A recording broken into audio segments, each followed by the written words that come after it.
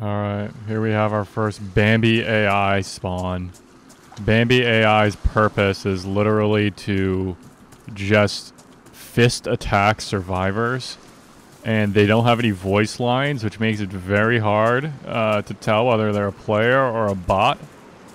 Um, not not that difficult actually, but uh, this is an instance of uh, perfect integration between DayZ's core ethos and um, emergent gameplay narrative opportunities. In this case, Bambi AI, which is true revolution. And as you can see, Bambi AI will lock on to the nearest player and begin viscerally attacking them. I'm not sure.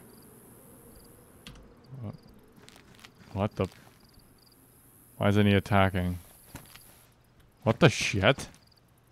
What the fuck? Ah, uh, shit. This was not intentional. What the fuck? Alright, hold on. Let me... Alright, I think the Bambi AI are actually broken. So, uh... Okay. Yeah, Bambi AI are fucking broken. Alright, well, fuck that.